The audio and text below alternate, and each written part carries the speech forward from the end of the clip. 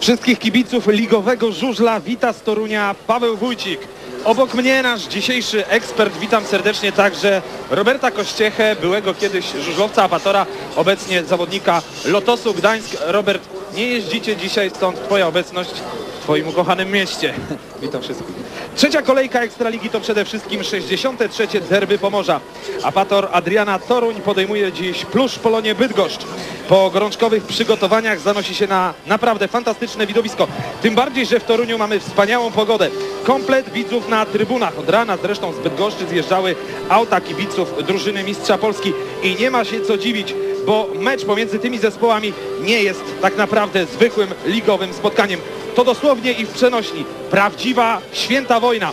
Od kilku dni w Toruniu, jak i w Bydgoszczy zresztą, nie mówi się o niczym innym, tylko o derbach Pomorza. Apator obok wrocławskiego Atlasu jest niepokonanym zespołem w Ekstralidze jak na razie. Drużyna mistrzów Polski będzie dziś miała naprawdę bardzo ciężko. Tym bardziej, że w ostatnich latach Polonia raczej w Toruniu yy, nie wygrywała, ale rok temu Polonia dwa razy okazała się lepsza od toruńskich aniołów, wygrywając u siebie i wygrywając na boisku, na torze Apatora. To spotkanie ma wiele podtekstów, o wszystkich będziemy dziś razem z Robertem Kościechą Państwu opowiadać, ale najważniejsze chyba, Robert, zgodzisz się ze mną, jest kwestia transferów. Yy, Zimą, jak wiemy, z Polonii przeszedł do Torunia Piotr Protasiewicz. W tym, czas, w tym samym czasie z Apatora odszedł do Bydgoszczy Mirosław Kowalik. Polonistów zaś, zasilił zresztą też Jacek Krzyżaniak, wychowanek Apatora, który ostatnie trzy lata spędził we Wrocławiu. Na pewno tak. e, Coraz więcej jest e, przemeblowań, można tak powiedzieć, e, w zespołach. Bardzo, bardzo, bardzo dobrze właśnie, że zawodnicy zmieniają barwy klubowe. E, Do Bydgoszczy odszedł Jacek Krzyżaniak i Mirosław Kowalik. Do, Tur do Turnia przyszedł Piotr Protasiewicz, także spotkanie ma jeszcze taki większy podtekst sportowy. Wszyscy zawodnicy musieli sobie udowodnić, kto jest tutaj lepszy. No Jacek Krzyżaniak teraz odpoczywa w domu, po kontu ma kontuzję, leczy upadek z Zielonej Góry. Myślę, że wszystko, tak, y, myślę, myślę, że szybko wróci do zdrowia i pomoże bydgoskiemu zespołowi odniesieniu lepszych wyników. Trzecia, kolejki, trzecia kolejka Ekstraligi to także arcyciekawy mecz w Zielonej Górze, gdzie ZKZ podejmuje dziś Unię Leszno i spójrzmy na tabelę Ekstraligi po drugiej rundzie. Na miejscu pierwszym Apator Adriana Toruń, na drugim Atlas Wrocław. Te dwa zespoły wygrywały swoje dotychczasowe spotkania. Na miejscu trzecim Top Sekret Włókniarz, na miejscu czwartym Plusz Polonia. Tak więc mecz kolejki, śmiało możemy powiedzieć dziś na antenie Polsatu Sport. Druga część tabeli ZKZ na miejscu piątym, Lotos Gdańsk szósty, siódma Polonia z Piły na miejscu ósmym. To chyba jednak niespodzianka przyznasz Unia Leszno. Tak na pewno e, Unia Leszno coś nie może na, na początku sezonu e, dojść do dobrej formy. Myślę, że e, duży wpływ ma to, że Krzysztof Kasprzak nie jest w takiej formie jak przed roku i po prostu tych parę punktów brakuje do całego bilansu zespołu, ale myślę, że wszystko będzie poukładane i niedługo Le- Leszno zacznie, zacznie wygrywać. Drodzy Państwo, bohaterowie dzisiejszego spotkania już są na torze, już zapoznają się z nawierzchnią. Jak Ty oceniłbyś tor na toruńskim stadionie? E, No tor, no po odejściu moim e, e, z Torunia e, zawodnicy chyba i działacze zdecydowali, że tor będzie coraz bardziej twardy. E, W Toruniu przy, przyzwyczajeni byliśmy do, do jeżdżenia na przyczepnej nawierzchni. Teraz ta nawierzchnia jest e, w miarę twarda, może troszeczkę trzyma ze startu. Długość toru 333 metry. Rekord należy do Tony Richardsona. Uzyskany w ubiegłym roku, niemal rok temu. 60 sekund i 10 setnych. Drodzy Państwo, to 63. derby Pomorza. Sporo mówiło się o, o tym, w jakich składach wystąpią oba zespoły. Torunianie odkryli karty. Bydgoszczanie również, ale chyba na początku nieco zawiedli swoich kibiców tym, że awizowali krajowy skład. Ostatecznie w dość tajemniczych okolicznościach ściągnięty Wilshire i Mark Loram. Akurat tych dwóch dżentelmenów z Anglii i Australii możemy w tej chwili podziwiać. To Todd Wiltshire, bardzo doświadczony Australijczyk. Dziś prawdziwe gwiazdy w tym spotkaniu. Naliczyliśmy siedmiu uczestników Grand Prix.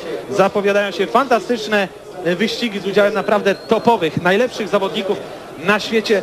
liczymy na to, że to będzie esencja naprawdę wielkiego światowego żużla, a świadczą o tym chociażby składy. Spójrzmy na ustawienie ostatecznie, w jakim wyjedzie na to spotkanie Bydgoska Polonia. Numer pierwszy Tomasz Golob, numer dwa Todd Wiltshire, numer trzy Mirosław Kowalik, przepięknie powitany przez kibiców Apatora, ale co ciekawe również w Bydgoszczy świetnie powitany przez kibiców Plusz Polonii. Numer 4 Mark Loram, były, były mistrz świata. Numer 5 Jacek Golob, numer 6 Grzegorz Czechowski, numer 7 Grzegorz Musiał, numer 8 Paweł Bielewski.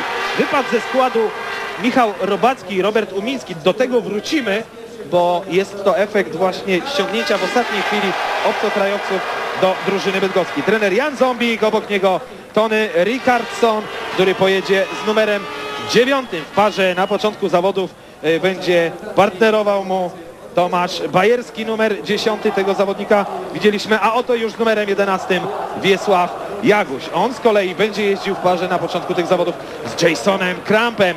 Trzecia para Torunian to Piotr Protasiewicz, numer 13 i Marcin Jaguś, brat Wiesława Jagusia, a dwaj zawodnicy y, rezerwowi numer 15 Karol Zombik i z numerem 16 doświadczony Robert Sawina, który zaczynał swoją wielką karierę tutaj w Toruniu, później błąkał się, był w Gdańsku, był w Gnieźnie, był we Wrocławiu, ale w roku 2002 wrócił do ukochanego Torunia.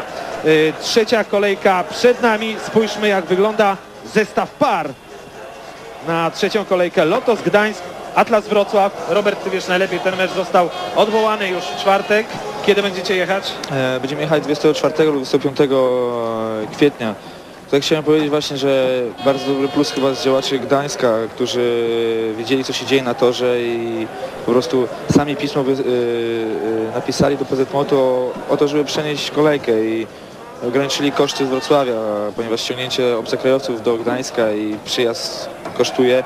Wiadomo jak teraz jest, że ciężko z, pieniędzmi. Myślę, że właśnie ukłon w, w stosunku do działaczy Gdańska. ZKZ Zielona Góra, Unia Leszno, Apator, Adriana Toruń, plus Polonia Bydgoszcz, Polonia Piła, Top Sekret, Włókniarz, Częstochowa. Emocje rozpoczną się naprawdę już niebawem. Posłuchajmy więc rozmowy z trenerami. Razem ze mną trener drużyny gości derbowego pojedynku na Pomorzu, trener Andrzej Koselski. Panie trenerze, jeszcze w ubiegłym roku na koniec, kiedy Atlas Wrocław przyjeżdżał do Bydgoszczy w krajowym składzie, narzekał pan i działacze pańskiego klubu na nieprofesjonalizm e, działaczy e, z drużyny z Dolnego Śląska. Jednak dzisiaj o mały włos nie doszłoby do podobnej sytuacji w przypadku Plusz Polonii Bydgoszcz. To znaczy, e, jeżeli chodzi o drużynę wrocławską, rozumiem pana Rusko, że postąpił tak, jak postąpił. Po prostu zostało dość sporo pieniędzy w kasie. E, Ja nie narzekałem. Ja miałem coś do zdobycia, a przyszło to nieco łatwiej i cieszę się z tego, że jesteśmy dzisiaj mistrzem Polski. E, Sytuacja nasza, e, wiadomo, że jest trudno, dlatego wstępnie żeśmy planowali e, przyjazd krajowym składem, ale znalazł się sponsor, który powiedział, dobrze, my pokryjemy koszty i cieszę się z tego, bo dysponuję pełnym składem. Skład e, przedstawiony Torunianom już na początku e, mijającego tygodnia e, spowodował to, że w momencie, kiedy w ostatniej chwili niemalże dowiedzieliście się o przyjeździe dwójki obcokrajowców, zabrakło miejsca dla bądź co bądź ważnego Michała Robackiego. e, sprawy regulaminowe. Skład już podaliśmy i niestety nie można dokonać zmian w składzie w numerach startowych. Albo wyskakuje ze składu, tak jak w tej chwili Michał, Michała Robackiego zastąpił Loram, automatycznie niestety Michał nie może przejść ani na, nie może przejść na ósemkę, bo młodzieżowca zastąpić nie może. E, W takim wypadku jak ocenia Pan e, dzisiejszą siłę e, swojego, swojej drużyny? Rywal znakomity, ale jednak przyjazd obcokrajowców na pewno podniesie poprzeczkę i gospodarze w tym meczu o zwycięstwo będą musieli mocno powalczyć. Po prostu brakuje mi cały czas tego Jacka Krzyżaniaka. Bo gdybym miał Jacka, e, no jesteśmy znacznie mocniejszym zespołem. Przyjazd obcokrajowców na pewno podnosi wartość zespołu i z tego się cieszę. Niemniej e, no, więcej stawiałem tutaj na Jacka jak na Toda. Taka jest to prawda. Bo Jacek Krzyżaniak jest naprawdę dobrym zawodnikiem. Tod, e, no, na razie ma huśtawkę. W Zielonej Górze 0. Pojechał nieco w meczu z Częstochową, co nie jest szczytem możliwości Toda. Czy na koniec pokusi się Pan o wytypowanie wyniku tego pojedynku? Nie, tego nigdy nie robią. Dziękujemy. Tyle trener Plusz Polonii Bydgoszcz Andrzej Koselski. Pierwszy wyścig już się toczy na prowadzeniu Tony Richardson. Za jego plecami mamy Tomasza Goloba po jeden punkt. Jedzie Tomasz Bajerski jak na razie na pozycji czwartej. Todd Wilshire zanosi się więc na to, że w pierwszym wyścigu gospodarze obejmą prowadzenie 4 do 2. Przypomnę na prowadzeniu mistrz świata, który w tym sezonie wystartował już w dwóch meczach. Abatora z reguły przywoził trzy punkty. Tak jest także i teraz pierwszy jest Richardson. Na miejscu drugim przyjeżdża gwiazdor Plusz Polonii Tomasz Golob. Na miejscu trzecim Tomasz Bajerski. Bez punktu Todd Wiltshire. Pierwszy wyścig i tak jak opowiadał nasz dzisiejszy ekspert, to wyścig z udziałem czterech zawodników uczestniczących w Grand Prix. Richardson, Golob, Bajerski i Wiltshire. Przenieśmy się na trybunę główną, gdzie mamy Jacka Krzyżaniaka.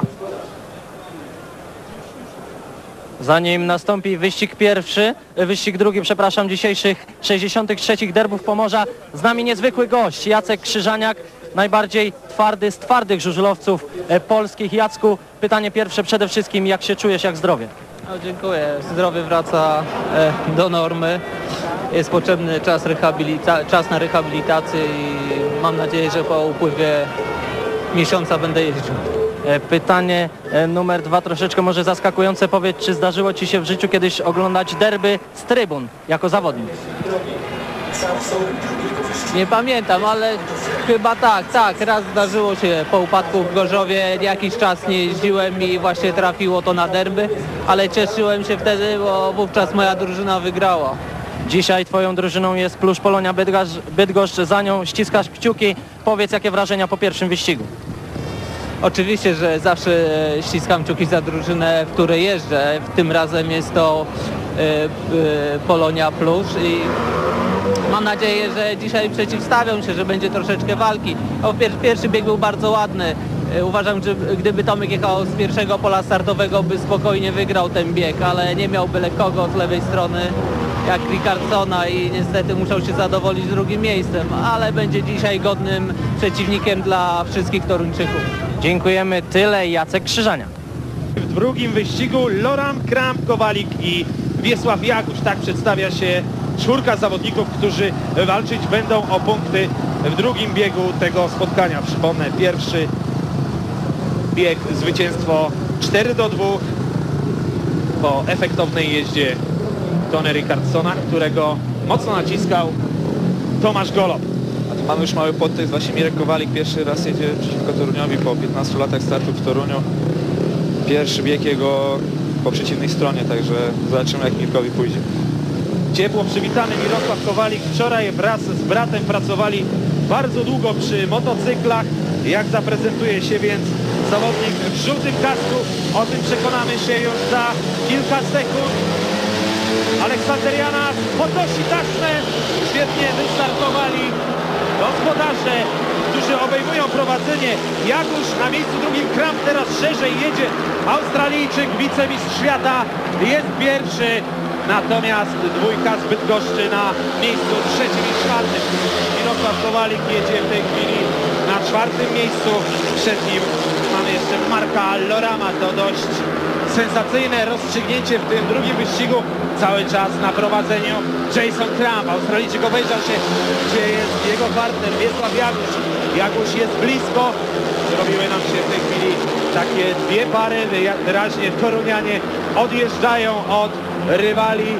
Za chwileczkę rozpocznie się ostatnie okrążenie tego drugiego biegu. Cały czas na pierwszym miejscu Australijczyk Jason Kramp. Jak na razie niepokonany. Najlepszy zawodnik żużlowej Ekstraligi KSM 3 po dwóch spotkaniach i tak jest tym razem. Jason Kramp na miejscu drugim Wiesław Jaguś, na miejscu trzecim przyjeżdża Mark Loram, na miejscu czwartym bez punktu Mirosław Kowalik, który jakże mocno przeżywa te derby. Przypomnijmy, Mirek Kowalik sercem związany z klubem toruńskim.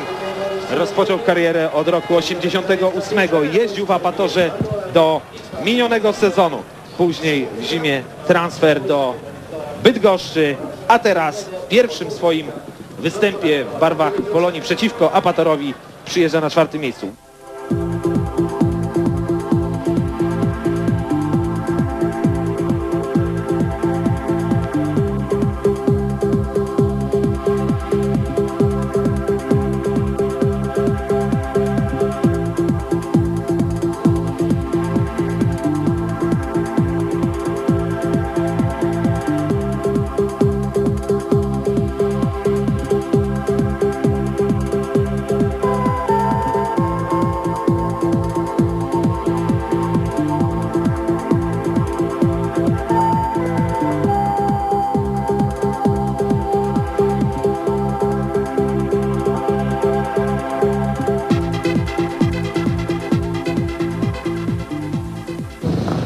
Wyścig trzeci z udziałem Jacka Goloba, Piotra Protasiewicza, Grzegorza Czechowskiego i Marcina Jagusia.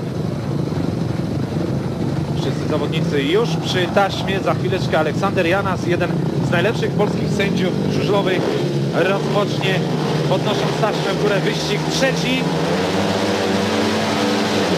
Protasiewicz, piękny start tego zawodnika w tej chwili. Wjechał w niego e, rozpędzony Jacek Golob. Mamy upadek z udziałem Goloba i Piotra Protasiewicza. No i to już jest efekt tej zadziorności sportowej, tego, że nie chcieli odpuścić jeden i drugi. Na szczęście, dzięki Bogu, Jacek Golob i Piotr Protasiewicz o własnych siłach zjeżdżają do parku maszyn Jacka Goloba za ten manewr, za wjechanie w Piotra Protasiewicza. Wyraźnie uderzony tylnym kołem zawodnik Apatora. Tak, tak, no Jacek Golob e, przegrał start, ale był po wewnętrznej e, stronie toru. E, pojechał troszeczkę prosto. Piotr Dasiewicz e, już nie dostało dla niego miejsca, Jacek troszeczkę go uderzył. Także myślę, że słuszna decyzja sędziego.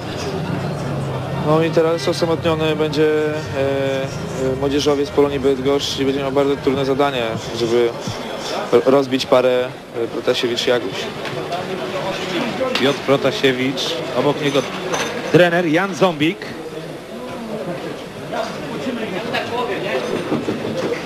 Wiesław Jaguś. Raz jeszcze zobaczmy jak to wyglądało. Wyszedł pięknie Piotr Protasiewicz, on dzisiaj bardzo długo trenował od godziny 12. Zapoznawał się z nawierzchnią. Przygotował dobrze motocykle i to jest ten moment. Uderzenie tylnym kołem w motocykl Piotra Protasiewicza.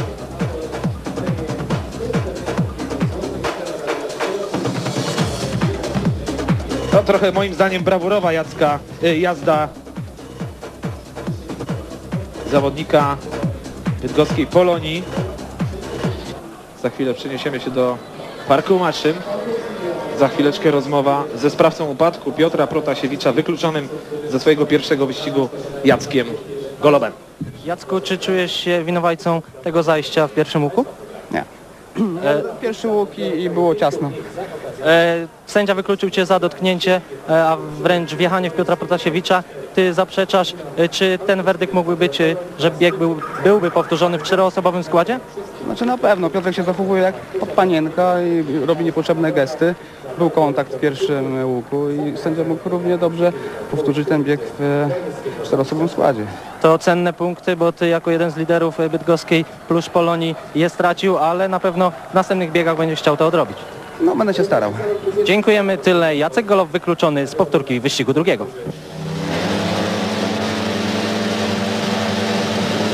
Ach, nie wytrzymał nerwowo młody zawodnik bydgoskiej Polonii. Dotknął, dotknął, lekko dotknął przednim kołem taśmy, za co zostaje wykluczony i rozpoczyna się dramat drużyny Milskiej Polonii. Teraz, teraz jeśli pojadą zawodnicy bez defektu, toruńscy przywiozą wynik 5 do 0. Wynik, który bardzo rzadko spotykany jest na żużlowych torach, ale jednak spotykany. Marcin Jagosz i Piotr Protaciewicz traktują wyścig trzeci w meczu Apator Polonia szkoleniowo. Protasiewicz obejmuje prowadzenie za jego plecami 19-letni adept żużlowej sztuki toruńskiego amatora Marcin Jagosz. Licencję zdobył w roku 2000. W zeszłym sezonie awansował praktycznie do pierwszej drużyny. Teraz spokojnie, nie powinni chorować tempa w tym wyścigu zawodnicy miejscowej drużyny. Najważniejsze jest zdrowie, zresztą o tym zdrowiu powtarza trener Jan Zombik, że nie ma presji na toruńskich zawodników, aby wygrywali za wszelką cenę. Jan Zombik mówi, najważniejsze jest zdrowie w wyścigu trzecim. Objeżdżają się i zapoznają z torem toruńskim zawodnicy Apatora Adrian Piotr Protasiewicz, który przyjeżdża na miejscu pierwszym, zdobywa trzy punkty, na miejscu drugim jest Marcin Jaguś, dwa punkty i generalnie 5 do 0 w wyścigu trzecim. Jason Kramp, Todd Wiltshire, Wiesław Jaguś i Tomasz Golob. Tak przedstawia się czwórka bohaterów czwartego wyścigu w derbach Pomorza, 63 żużlowych derbach Pomorza. No i te pierwsze trzy wyścigi można by je wynik, efekty przełożyć na określenia bokserskie, to można byłoby powiedzieć, że poloniści są już bardzo mocno poobijani, bo zdobyli w trzech ligach tylko 3 punkty, 14 ma Apator. Jeszcze Jason Kramp coś poprawia przy swoim motocyklu zawodnikom. Zostało około 40 sekund, odjeżdża od taśmy Tomasz Golob. Przeciąga nam się start do pierwszego wyścigu. Czas dwóch minut powoli się kończy, jeszcze 30 sekund. Podprowadzający zaprasza teraz Tomasza Goloba. Czekamy jeszcze na Toda Wiltshira.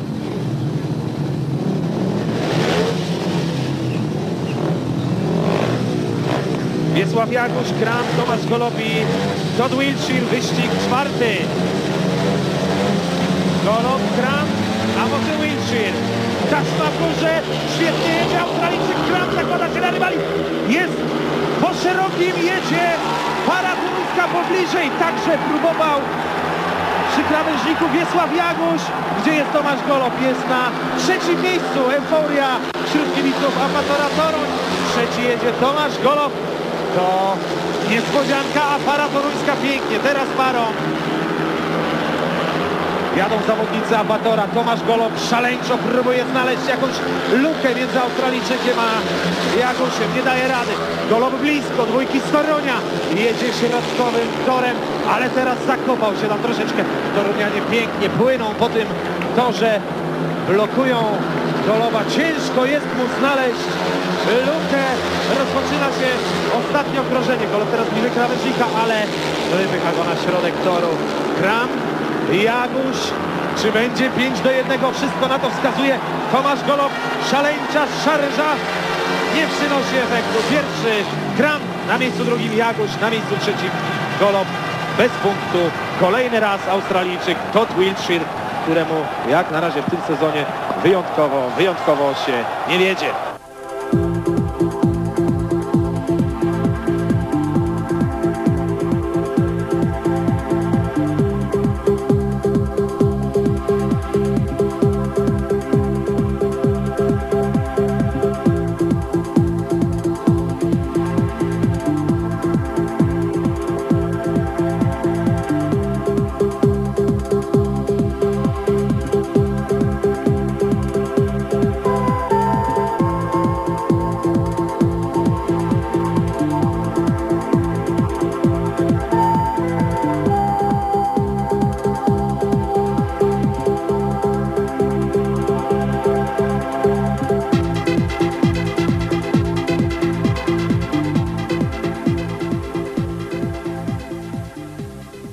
Piąty.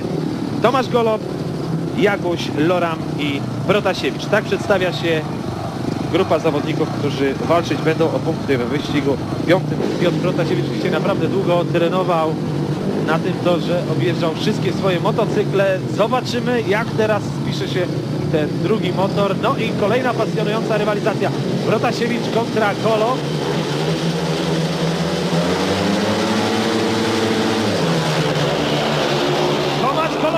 Tomasz Golob zakłada się na rywali. wali, jest pierwszy, jest przed Protasiewiczem, ale Protasiewicz blisko krawężnika. Nie daje rady, nie dał rady, pierwszy jedzie Tomasz Golob na miejscu drugim, a mamy Piotra Protasiewicza jako trzeci. Jedzie za Protasiewiczem Mark Loram na czwartym miejscu Jaguś. Wygląda więc na to, że Bydgoszczanie w końcu wygrają bieg w tym spotkaniu. Zanosi się na 4 do 2, ale Piotr Protasiewicz nie rezygnuje. Spojrzał się Anglik, były mistrz świata, na żużlu teraz. Ciasno, gęsto, blisko siebie trzech uczestników Grand Prix odstaje nieco formą Marcin Jaguś od tych trzech fantastycznych sportowców. Protasiewicz cały czas naciska. Ostatnie okrążenie prowadzi Golo. Zanim Protasiewicz Loran zbliża się do zawodnika Amatora, teraz pewnie szeroko spróbuje zaatakować Anglik.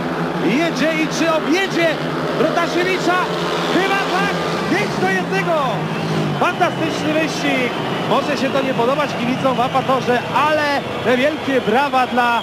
Właśnie, dla kogo? Chyba dla tajemniczego sponsora, który postawił na Marka Lorama. To przedziwna historia, ale za sprawą Anglika naprawdę mieliśmy kawałek pięknego widowiska. Pierwszy Tomasz Golob, na drugim miejscu Mark Loram. Jeden punkt przywozi Piotr Protasiewicz. Marcin Jaguś ma dopiero 19 lat. Jeszcze, jeszcze przyjdzie jego pora.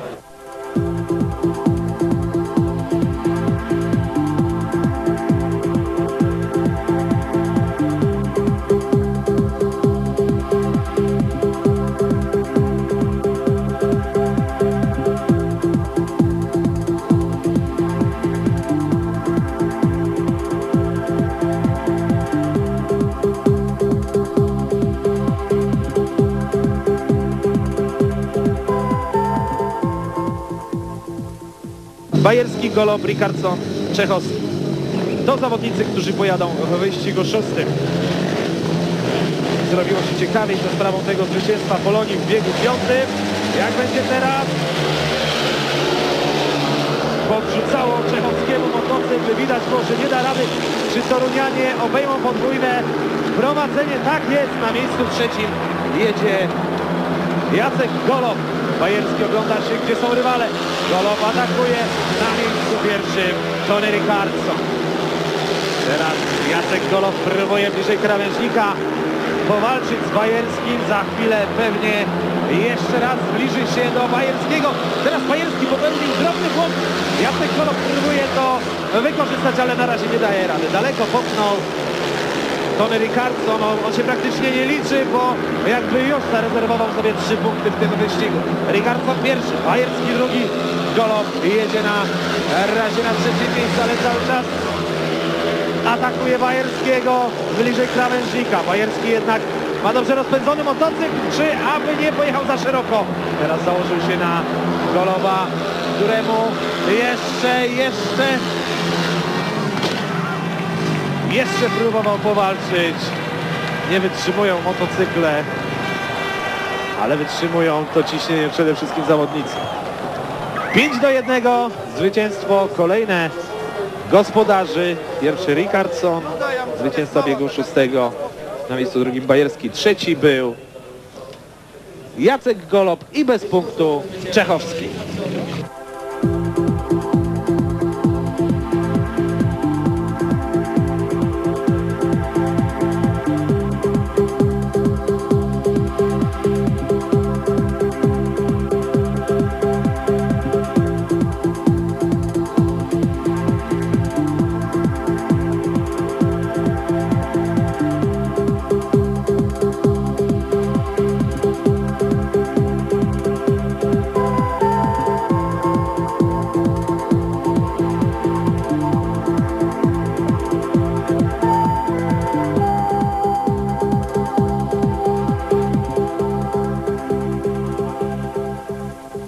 Bandy Tomasz Golob, obok niego Piotr Protasiewicz, Jacek Golob i Marcin Jaguś. Jeszcze jest wpatrzony w sędziego Tomasz Golob. Sędzia pogania zawodników. Kilka sekund zostało do rozpoczęcia tego wyścigu.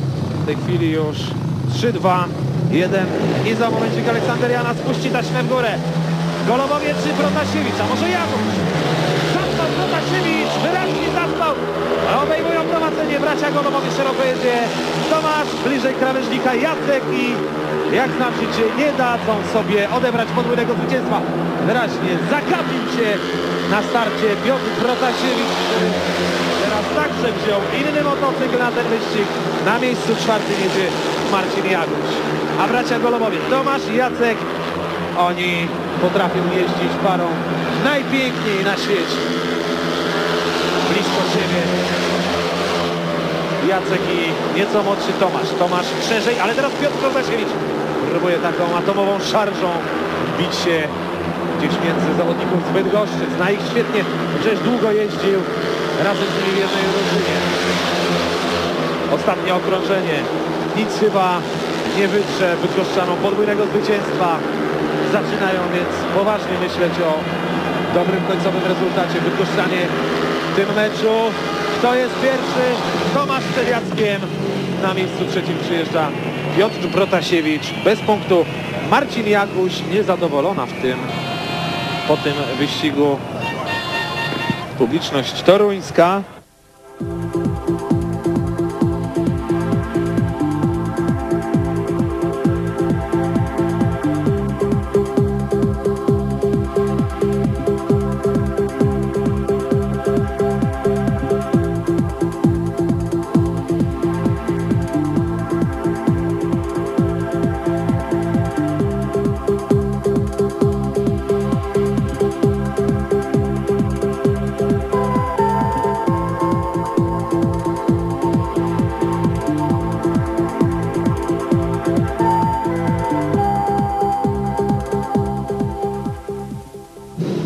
Bajerski, Loram, Ricardson i Kowalik. Tak przedstawia się grupa zawodników, która będzie walczyła o punkty we wyścigu ósmym. Mamy po krótkim zawieszeniu na torze Mirosława Kowalika. Nie wiem, czy to ta zmiana z Tomaszem Golową nie była podyktowana jakimiś problemami z motorem. Jak będzie teraz? Taśma w górze. Ricardson. Ricardson jest pierwszy, za nim jedzie Bajerski, ale Kowalik nie odpuszcza i nie, nie wiadomo jeszcze w tej chwili, jest drugi. Bajerski nie rezygnuje, bliżej krawężnika, patrzy się, gdzie jest Kowalik, piękna walka pomiędzy tymi zawodnikami, teraz Bajerski bardzo ostro musi uważać Kowalik, Kowalik blisko bandy, spada na czwarte miejsce. Torunianie obejmują więc podwójne prowadzenie, ale przepiękny wyścig z udziałem tych zawodników. Teraz Bajerski bardzo szeroko wyprzedzony przez Marka Lorama. Ale stasują się zawodnicy w tym wyścigu. Daleko, daleko z przodu już. Po raz kolejny Tony Ricardson. Nawet nie ogląda się, co tam się dzieje za jego plecami. Był w fantastycznej, dogodnej sytuacji, ale spadł na miejsce czwarte. Jego kolega drużyny Mark Loram jedzie drugi, a wyścig ten wygrywa Ricardson przed Markiem Loramem. Trzeci przyjeżdża Tomasz Bajerski. Na miejscu czwartym Mark, y, na miejscu czwartym Mirosław Kowalik.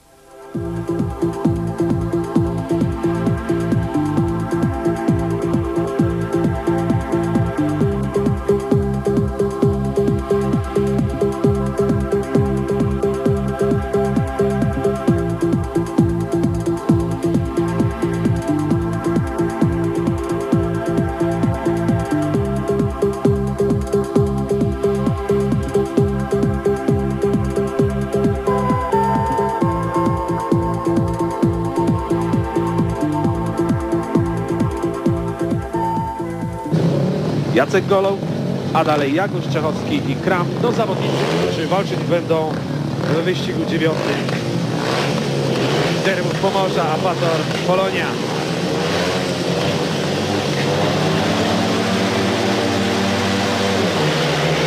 Fantastyczne wyjście Jasona Krampa. Jest pierwszy Australijczyk, szeroko, bardzo szeroko jedzie Jacek Golow. Jagusz jest na miejscu trzecim, Czechowski czwarty. Wyścig układa się więc jak na razie na 4 do 2 dla gospodarzy. Kram pierwszy, blisko, blisko jest Jacek Golob. Teraz blisko krawężnika, świetnie Jaguś, ale nie daje rady. Nie daje wyprzedzić się Jacek Golob, ale Jaguś trzyma ten krawężnik konsekwentnie. Obejrzał się na Jagusia Golob. Jeszcze jeden atak Jagusia, ale Golob nie odpuszcza. Fantastyczna pogoń. Wiesława Jagusia jeszcze raz zbliża się do Jacka Goloba.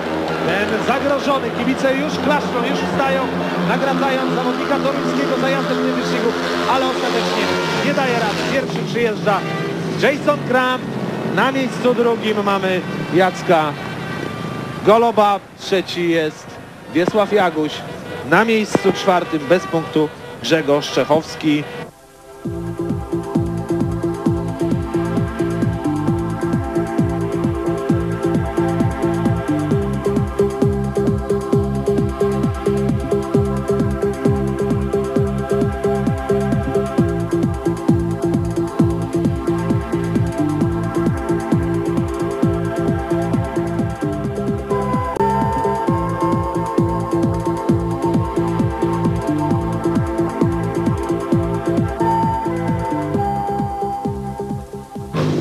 Protasiewicz, Golob, Bajerski i Loram. Cóż tu powiedzieć więcej? Grand Prix W Toruniu. na torze Apatora Toruń. O tym szóstym tytule Manży Ricardson, którego teraz na razie oglądać nie będziemy. Czas na górze, Protasiewicz, ładny start. Są Torunianie na początku, Bajerski, Protasiewicz, Loram, Golob na miejscu czwartym. Tym razem zagrało w ekipie toruńskiej prowadzi Bajerski, drugi jedzie Protasiewicz, ostro naciskany przez Goloba, który wyszedł przed Lorama. Loram bliżej krawężnika, środkowym torem jedzie Tomasz Golob. Próbują ugryźć Protasiewicza, wszyscy, cała czwórka blisko, rozgląda się Protasiewicz, jest atakowany i z lewej i z prawej strony, nie może odpuścić, musi jechać parą, musi pomagać mu Bajerski, jeśli gospodarze chcą ten wyścig wygrać. 5 do 1, za chwileczkę wyjście z wirażu i rozpoczyna się ostatnie okrążenie. Teraz na prowadzeniu Protasiewicz, za nim jedzie Bajerski, szarżuje Loram, czwarty jest Tomasz Golob. Wygląda więc na to, że Torunianie wygrą, wygrają ten wyścig w stosunku 5 do 1 i tak też się dzieje. Protasiewicz, Bajerski, Loram zawiódł swoich kibiców Tomasz Golob.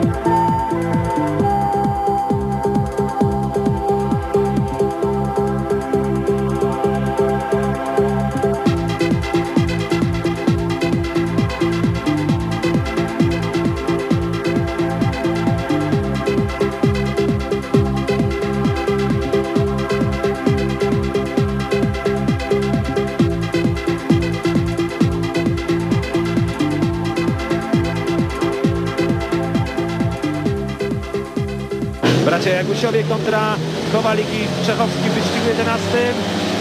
Już tak ma duże Mirek Kowalik.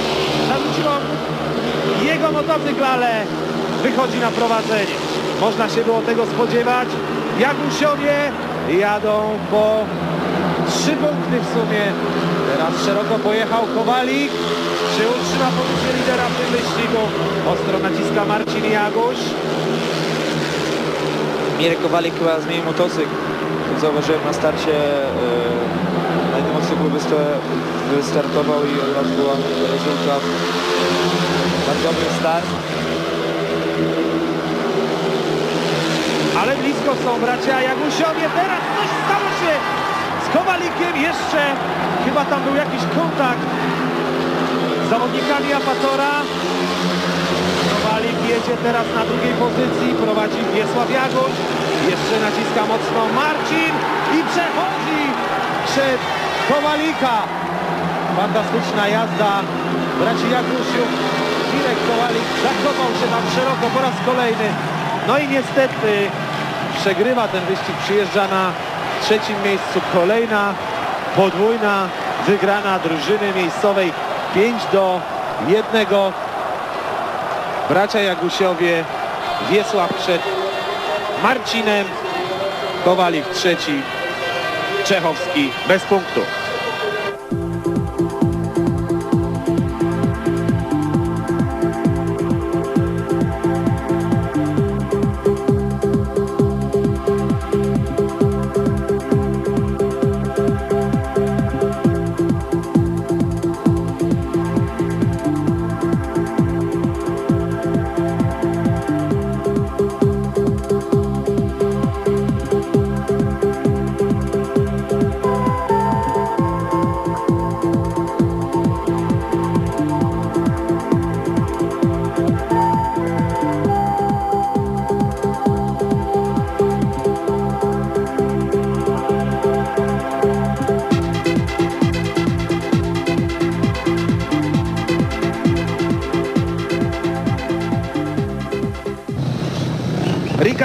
Jacek Golob, Jason Kramp, Mark Loram to bohaterowie 12 wyścigu.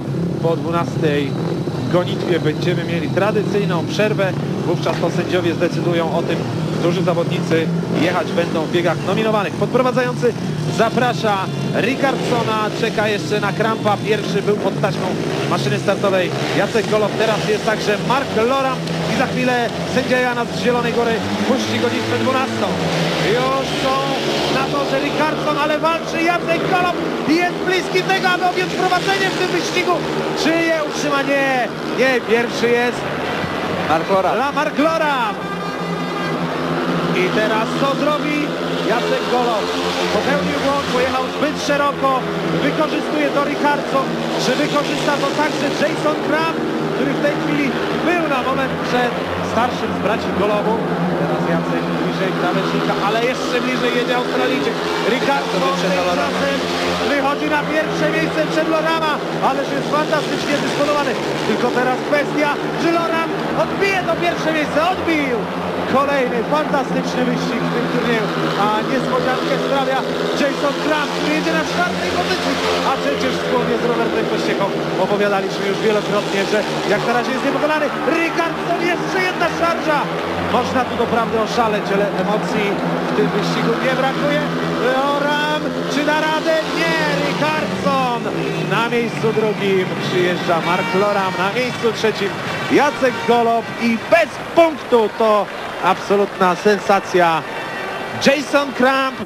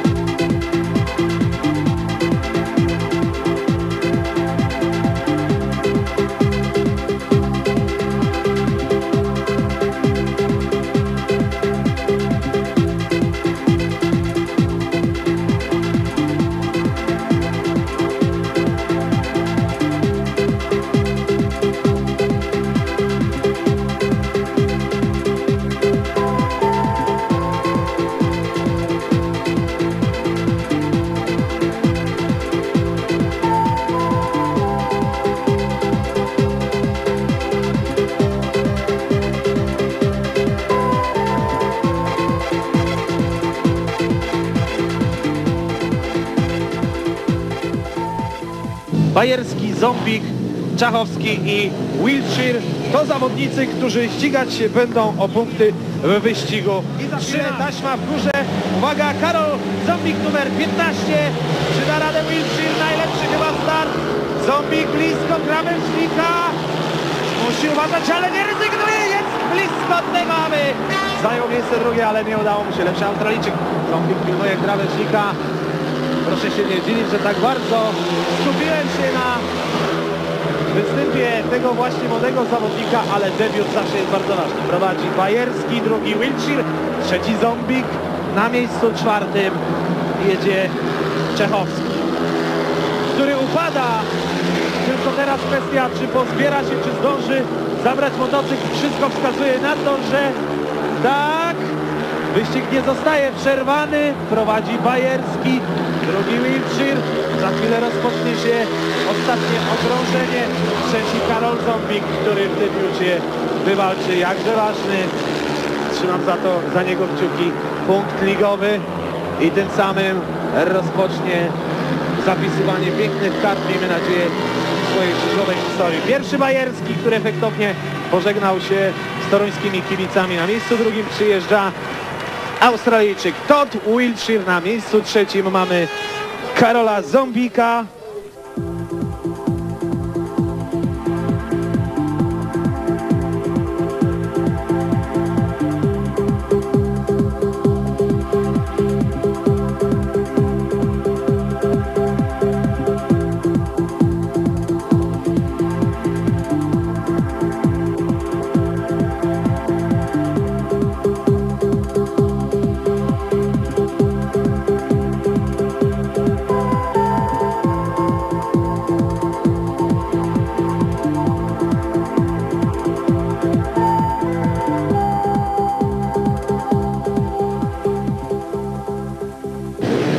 14. Protasiewicz, Kowalik, Jaguś i Jacek Golob. Wszyscy już skupieni, wpatrzeni w taśmę. Jest ona w górze Protasiewicz. Obejmuje prowadzenie idzie Jacek Golob, ale Protasiewicz będzie chyba pierwszy. Obok niego Wiesław Jaguś. Jacek Golob na miejscu trzecim, teraz szeroko, a na czwartym Mirosław Kowalik. Prowadzi duet Koruński, Protasiewicz, Jaguś. I już nieco z tyłu został Jacek Golob. Będzie mu ciężko, ale pokazał także w tych zawodach, że stara się dziś walczyć o jak najlepszą pozycję na torze w każdym miejscu. Protasiewicz i Jaguś na pożegnanie chcą przywieźć kolejnych 5 punktów dla Apatora w tym prestiżowym meczu. Prowadzi Protasiewicz, Jaguś jest drugi, Jacek Golob trzeci, Mirek Kowalik. Niestety bez punktu. Zanosi się więc na to, że będziemy mieli 5 do 1. I tak jest, cieszą się Torunianie. Wygrywa Protasiewicz. Na miejscu drugim Jaguś. Na miejscu trzecim Jacek Golob. Bez punktu Mirosław Kowalik. To bardzo ważne zwycięstwo dla Piotra Protasiewicza, który w tym meczu trzy razy wygrywał w swoich indywidualnych popisach na torze Apatora, a przecież dobrze wiemy, że jemu strasznie mocno zależało na dobrym występie w tym meczu. Bodaj, jeśli dobrze liczę, 9 plus 2, 2 y, 11 punktów będzie miał popularny Pepe w tym spotkaniu.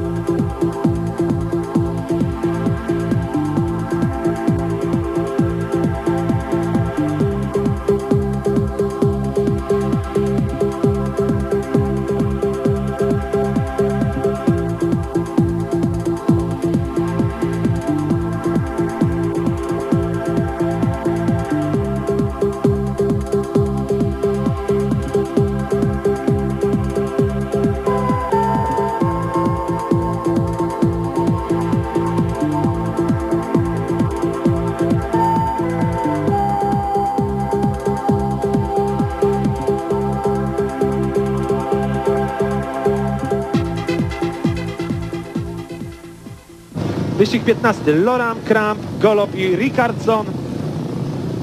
No, życzylibyśmy sobie, aby w takim zestawieniu rozgrywany był ostatni bieg yy, Grand Prix każdego z tych turniejów.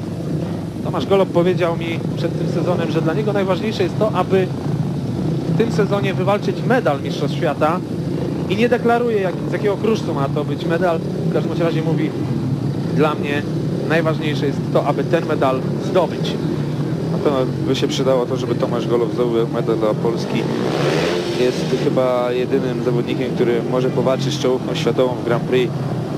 Yy, Będą pomagali także Piotr Rosiewicz i Tomasz Bajewski, ale będzie naprawdę bardzo ciężko. Loran Kramp, Golob i Ricardson. Kto wygra na koniec? Golob! Golob! Golob! Szeroko próbują zaatakować Torunianie w osobach Krampa i Ricardsona, ale Tomasz Golob jest pierwszy. W tym meczu nie mieliśmy jeszcze, Robert, jeśli dobrze pamiętam, remisu. Jeśli tak przyjadą na metę, Będziemy wówczas mieli pierwszy remis w tym spotkaniu. Golob pierwszy, za nim Rickardson, trzeci jedzie Jason Trump, na miejscu czwartym Mark Loram. Cieszy ta dyspozycja Tomasza Golowa. Teraz podniosła mu motocykl minimalnie, ale opanował, utrzymał motor. Bryzach, a blisko jest Tony Rickardson. Jakby chciał zadać ostateczny cios, dokonać magicznego, chirurgicznego cięcia. Może teraz rozpędza swój motocykl. Szwedzki profesor Speedwaya, ale nie daje rady. Mądrze jedzie Tomasz Golob.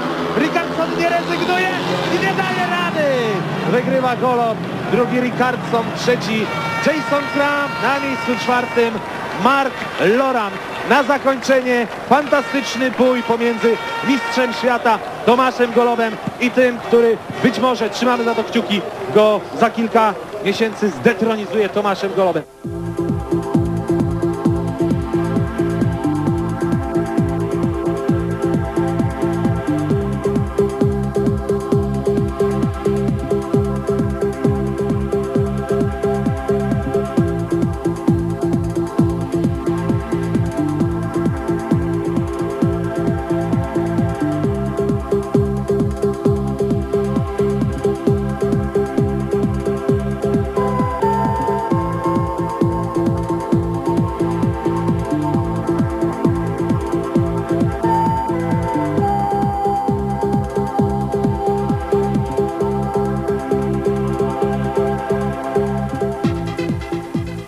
Trener gospodarzy Jan Zomik, panie trenerze, przekonywujące zwycięstwo i w Toruniu wszyscy chyba są zadowoleni. No na pewno wszyscy stanęli na wysokości zadania.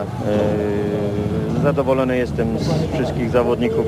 Nie miał dzisiaj szansy Robert Sabina, ale pojedzie w następnym meczu we Wrocławiu i uważam, że coraz lepiej jest z Tomkiem i z Robertem i będzie jeszcze lepiej. Zupełnie inne nastroje w obozie Plusz Polonii Bydgoszcz. Panie Andrzeju, trener Andrzej Koselski, e, ten mecz wyraźnie przegrany, ale walka na torze była.